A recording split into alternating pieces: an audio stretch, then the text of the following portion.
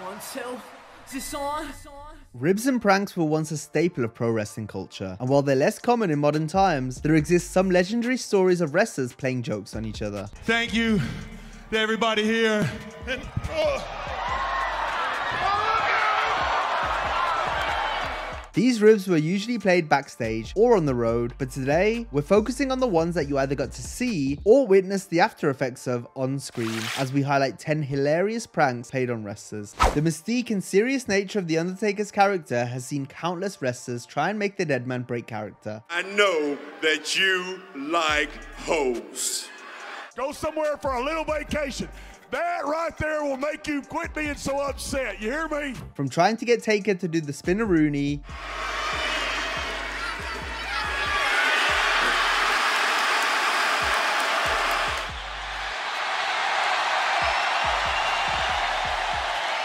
to The Rock creating the People's Elbow in an attempt to make the Phenom laugh. I believe the first time Rock did the People's Elbow was in a match where we were trying to make Taker crack. I always thought that was the hokiest thing ever, but iconic, right? And always to get me laughing. Oh, Undertaker's hatred of cucumbers has also left him open to some funny pranks. Cool as a cucumber. Yeah, I hate cucumbers. The Undertaker threw up all over Waffle House because there was a cucumber floating in his iced tea. But one of the best ribs played on Taker was executed by Kurt Angle. I love you, man. Stone Cold Steve Austin is a wrestler who loves a good rib. An example of a prank he played happened during a match versus Shawn Michaels at a live event from Kuwait in May of 1996. Instead of his usual all-black attire, Austin opted to wear neon pink wrist tape and armbands that he borrowed from Bret Hart. He put it over. He smiled a couple times, but Shawn's got that long hair, so he was able to uh, cover his uh, mannerisms up. But I popped him pretty good. But it was just a rib. It was a surreal look for Stone Cold, but that's why it made for such a funny rib. Since Austin rocked the pink in order to try and make Michaels and referee Earl Hebner laugh. Ahmed Johnson was a foul-tempered wrestler who got a lot of heat during his time with the WWF due to his bad attitude and recklessness in the ring. You guys trying to kill me? I'm a gang member, baby. Remember that? Goldust, knowing Johnson was easy to rile up, decided to rib Ahmed during a segment where Goldust resuscitated Ahmed after he'd been knocked out. Goldust was meant to put his hand over Johnson's mouth when administering CPR, but instead of kissing his own hand, Goldust lip-locked Ahmed for real. What's he doing? That's first aid. He's saving his life. Ahmed was scripted to then get angry and go on a rampage looking for Goldust. With Johnson attacking Bob Holly and a cameraman. Based on the incident that had just occurred, there was no doubt some real life frustration mixed in during Ahmed's tirade. Goldust kissed Johnson again during their match at King of the Ring 1998, angering Ahmed even further to the point where he began hitting Goldust for real.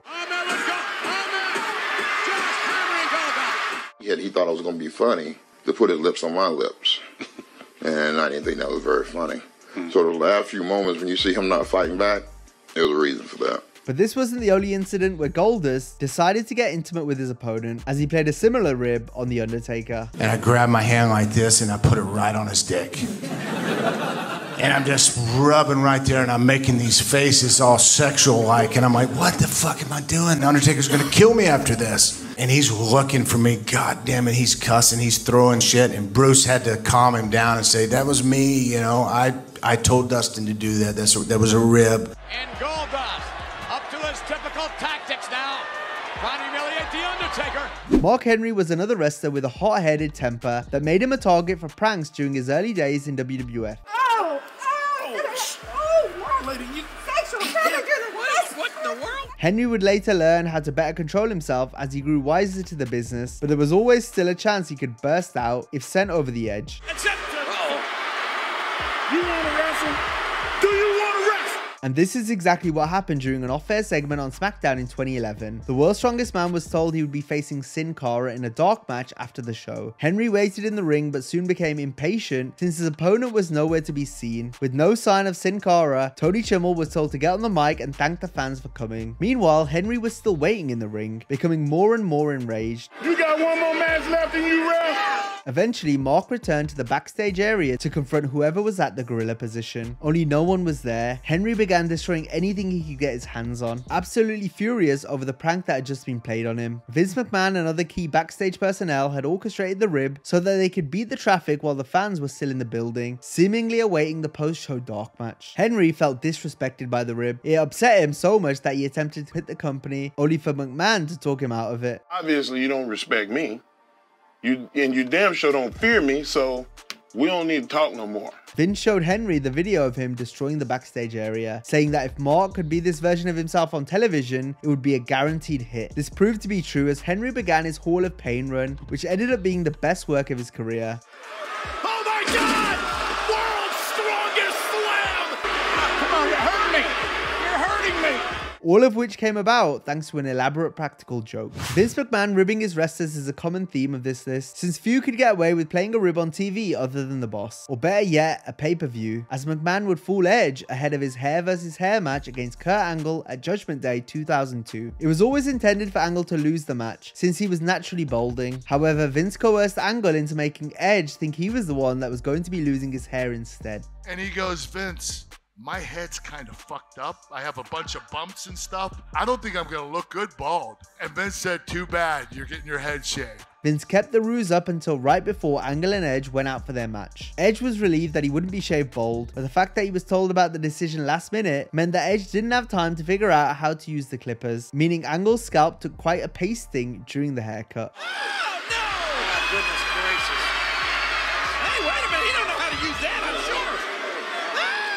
Next, we have a Vince rib that played out on television. It occurred on the December 21st SmackDown from 2010. Big Show came to the ring dressed as Santa, bearing gifts for the audience. Show got into the ring and went to sit down to read a Christmas story to the crowd. But as soon as Show sat in the seat, the chair collapsed, sending the world's largest athlete to the ground. To the WWE Universe, that's what I'm all about is benevolence. Santa, go in there and help him up. Santa Claus has gained a little bit of weight this year. One might think Show's weight forced the chair to crumble under the immense pressure. However, Vince ensured the chair was gimmicked ahead of time so that when Show went to sit in it, it would give way. Former WWE writer Freddie Prinze Jr. revealed Vince's plan for this segment on the Wrestling with Freddie podcast. Big Show was going to sit in when he was going to read a Santa Claus story, was going to break when he sat in it. And I was just like, oh, Jesus. He's like, and you better not friggin' tell him. Like, what am I going to do? I told Big Show. And Big Show didn't care. He was like, I'll play it off. Sean Waltman is notorious for his ribs on other wrestlers, including the time he crapped in Sable's bag and when he cut Michael Hayes' ponytail off during the plane ride from hell and then nailed it to the locker room door the next night. Waltman would be the victim of a famous rib where his eyebrows were shaved off by Mr. Perfect Curt Hennig. Waltman had to pose for promotional photos shortly after, one of which ended up being featured on the packaging of his action figure. Waltman continued to wrestle on television as the 123 kid while his eyebrows were still growing back, which made for quite a funny look.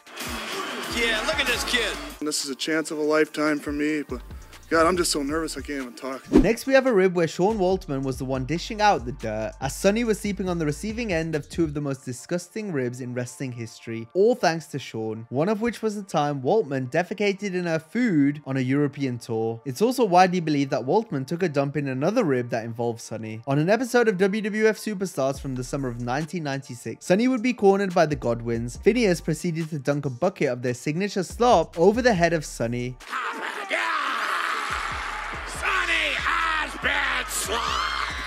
The slop was usually a mix of different foods gathered together from catering. However, on this occasion, only half the slop came from catering, while the other half came from other wrestlers in the locker room. They donated to the slop with spit, pee, and supposedly feces, courtesy of Sean Waltman. I even had to pour a little bit out because I couldn't carry it to the ring. X Pac and Razor and Dr. Tom had put some stuff in the bucket. I don't know exactly what it was, but This was done as a way to get back at Sunny, who had heat with many of the boys throughout her time in the WWF due to her Jezebel-like behavior and personality. Waltman is also said to have once taken a dump in Mark Henry's Subway sandwich, however, it's not known for sure if Henry ate it or not, although some reports suggest that he did. We've got one more poop-related rib, although it backfired hilariously. Vince McMahon is a sucker for toilet humor, so this makes it even funnier that he was on the receiving end of a bathroom joke he instigated. It went down right before Vince was set to go out for a promo segment on Raw. McMahon wanted to mess with Gerald Brisco in the gorilla position. Vince did this by attempting to make Jerry puke by farting next to him, since Brisco is known for having a weak stomach. Vince did the deed which left Briscoe dry heaving. But there was a bit more than just gas that came out of McMahon's backside. Vince had sharted in his pants and there was no time to clean up the mess as he had to go out for his promo. I have to go to the bathroom. Oh, I have to go to the. Vince was forced to walk to the ring with a stain on his pants that the camera crew didn't dare shoot in fear of the consequences. After Jim Ross revealed this story on a podcast in 2014, He sharded. He's wearing khakis and he's got a brown stain. Nobody had the balls in the truck to shoot it. Vince responded on an episode of Raw by telling his announcers to take shots at JR on commentary. How would you compare his commentary to like, well, JR? That's like comparing horse manure to ice cream. McMahon is no stranger to making fun of JR. Jim has continually been mocked and ridiculed on the air by Vince. Stone Cold! Stone Cold! Stone Cold! Most, if not all of these jokes, came across as more nasty than funny. I want to show you these photographs right now. JR, I oh, think needs a tan. A little bit of rims to live by. You're going to love this one. But we'll highlight them as our last example, just to show you the lengths Vince has gone to to mock JR on television, such as when JR was made to kiss Vince's ass, Kiss his ass. Oh my gosh! or the infamous Dr. Heiney skit, which was one of the worst segments WWE has ever produced. Oh, it begs the question, why would Vince intentionally create bad television to make a joke that only he thinks is funny? It wasn't business and it wasn't funny. So why did we do it? And it made my wife cry, so it pissed me off. If it meant ridiculing JR, Vince had no qualms about airing it. Now, if you enjoyed this video, be sure to check out a similar video on the top 10 outrageous Vince McMahon moments. Hope you have a great day, and I'll see you next time.